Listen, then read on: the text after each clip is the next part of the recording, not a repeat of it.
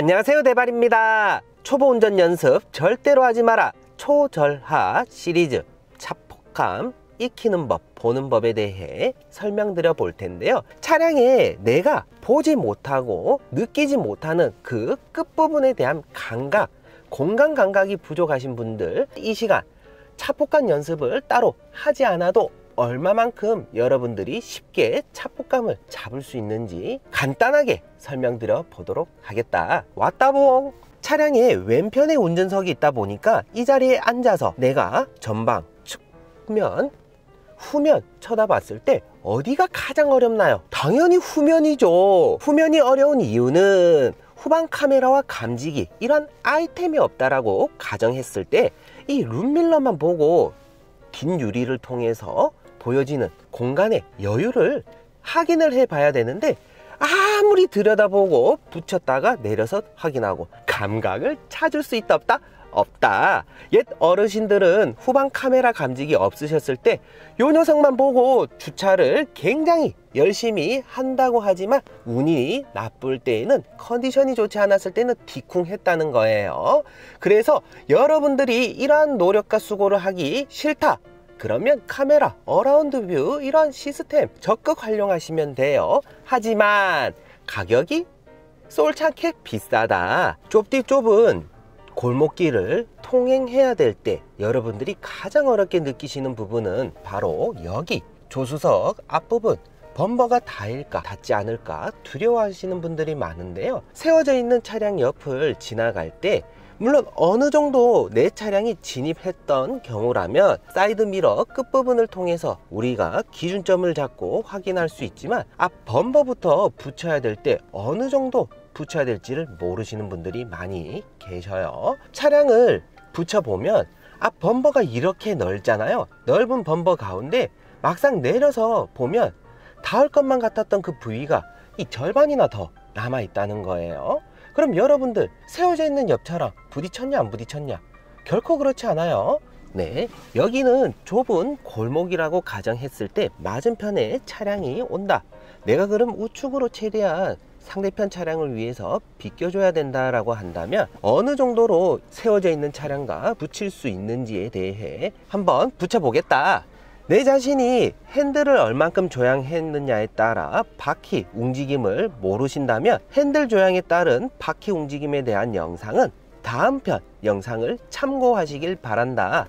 맞은편 오는 차량을 위해서 핸들을 반바퀴 감았다가 다시 또 핸들을 감은 만큼의 또 반대로 풀어주면 내 차량이 세워져 있는 옆차와 사이드 미러를 통해서 대략 한 70, 80cm 남아 있는 것을 확인할 수 있고 그럼 이 대시보드 요 정도 공간이 밖에 더 남아 있다는 거 약 3분의 1 정도 더 남아 있다는 거 가늠이 되죠. 자 여기서 이제 과감하게 핸들을 조향하실 필요는 없으세요. 맞은편의 차량이 위에 내가 이 정도까지 비껴줬지만 그래도 조금 더 붙여야 된다 하면 핸들을 반바퀴씩 조향하는 겁니다. 반바퀴씩. 반바퀴 감아줬으면 또다시 반대편으로 한 바퀴 감으면서 내 차량을 반듯하게 붙여보는 거예요.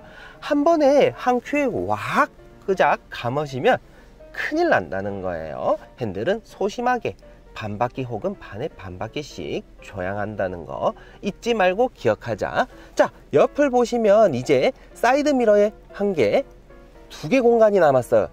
아까 75cm 남았었던 거와 달리 지금은 약간 50cm 정도 남은 것 같아요. 그렇지만 앞 범퍼 보면 다 왔어요. 먹고 들어갔어요. 씹혔어요. 대발이 시각으로 바라봤을 때. 그죠? 그렇지만 내려서 보면 얼만큼 여유 공간이 있는지.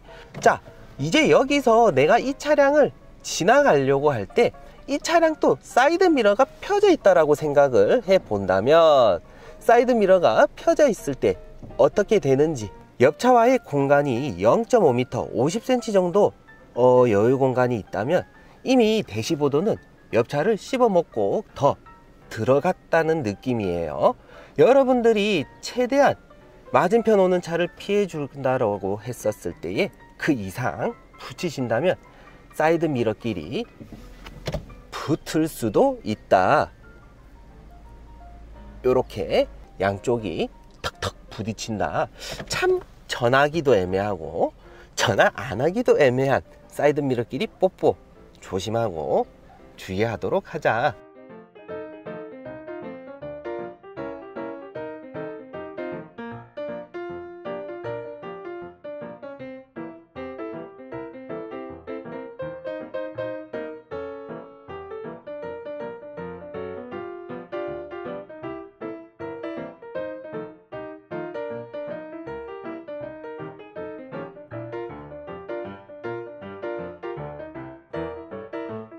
자, 여러분들이 제일 어려워하는 차폭감. 실전에서 정말 여러분들에게 필요한 것은 무엇이냐? 맞은편에 차량이 세워져 있는 이 좁은 골목의 삼거리에서 핸들을 이제 조향해서 좌측 우측으로 코너링을 해야 된다.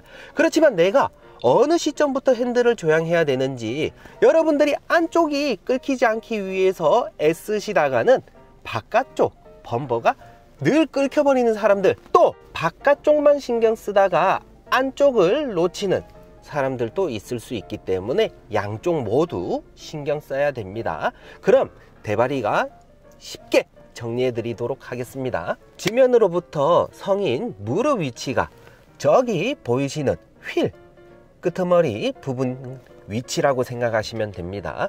물론 운전자의 시트 포지션이 따라 시각에 차이가 있을 수 있긴 하지만 보통 성인 무릎 위치에 그 휠 끝부분이 가려진다 한다면 이 정도 조금 더 나가 볼게요. 대바리 씨가. 여기까지 가려진다면 핸들을 조향했을 때 앞이 닿냐 안 닿냐 닿게 된다는 겁니다. 더 나가면 닿아요. 더 나가면 닿아요 닿을 수밖에 없습니다. 그러면 여러분들이 주차를 하실 때나 좁은 공간에서 코너링을 하실 때에 어느 시점에 핸들을 조향해야 내 차량의 외륜차를 생각하면서 보호할 수 있는지 그 시점은 성인 남성 무릎 대바리 기준으로 따졌을 때 약간 한 0.5m 가량의 높이가 운전자 시각에 가려져 보일 때 핸들을 조향하며 아슬아슬한 정도라고 생각하셔도 좋아요. 그러면 보통 차량마다 휠 위치가 다 다르긴 하지만 휠이 다 가려지지 않도록 여러분들이 그 전에 핸들을 조향해 주신다면 우리 차량의 외륜차 절대적으로 보호할 수 있다. 좌우 삼거리에서 대바리는 좌회전 및 우회전을 해야 되는데요. 앞에 세워져 있는 차를 어느 정도까지 내가 거리가 남았을 때 좌측 우측 코너링을 해야 되냐? 여러분들은 이미 운전자의 어깨가 돌고자 하는 모퉁이 기준점만 확인이 되면 얼마든지 핸들을 조향하시면 안쪽이 안 부딪힌다는 거 알아요. 여기 휠이 절반 정도 가렸을 때 핸들을 조향해 주시면 맞은편에 대략 1m 가량 이상의 여유 공간을 남겨두고 충분히 통과 가능하시다는 거예요. 조금 더 가려서 휠 끄트머리까지 온다 하면 핸들을 조향해 볼게요. 그럼 살짝 부담스러워요. 살짝 부담스럽다고 말했어요. 그렇지만 대바리는 대략 대바리 차량의 앞범버 끝이 어디쯤 있는지 대충은 보고 있기 때문에 괜찮은데 초보 운전 여러분들은 잘 보이지 않기 때문에 주의해야 된다. 후진 주차되어 있는 차량을 차 빼기를 해야 되지만 맞은편에 건너편에 세워져 있는 차량 앞에 또 이중 주차가 덩그러니 되어 있다. 그럼 내가 내륜차 생각해서 옆차 앞범버와 내 어깨 일치하면 핸들을 조향하려 하는데 세워져 있는 이중 주차에 닿을까? 노파심이 생기는 분들 계실 거예요. 어느 정도까지 내가 더 나가야 내 차량의 핸들 감는 바깥 방향의 외륜차를 보호할 수 있냐 차마다 조금씩 차이는 있지만 휠이 절반 이상 가려졌다. 그러면 핸들을 좌측 우측 감아 주시는 것이 중요하다. 혹시라도 그 이상 감게 되었을 때는 한 번에 핸들을 돌려 나가려고 하지 말고 최대한 붙일 수 있는 만큼 붙였다면 다시 빠꾸 한번 해서 약간 각도를 또다시 수정해서 나가 주시는 것이 여러분들의 차량과 정신 건강에 좋다. 영상을 통해서 확인하시고 도움이 되셨다면 구독과 좋아요 알림 설정해 주시면 감사하고요 덤프트럭은 어떡하냐 트랙터는 어떡하냐 이런 로드일러는 어떡하냐 하시는 분들은 댓글 자제해 주시길 바란다 세워져 있는 장애물과 닿지 않고 지나갈 수 있다는 것입니다. 아시겠죠? 지나갈 수 있을까 없을까? 나는 못 지나갈 것 같아. 난 지나갈 수 있을 거라 생각하는데. 어. 돼? 돼. 돼? 돼. 돼, 진짜. 확실해? 어, 돼. 돼. 저희도 확신이 없으니까 지금 아니야, 돼. 됐어. 됐지. 찔끔찔끔한 거 아니야? 됐지. 이거 쿠키 영상이다. 쿠키 나왔어. 됐지. 좋아요.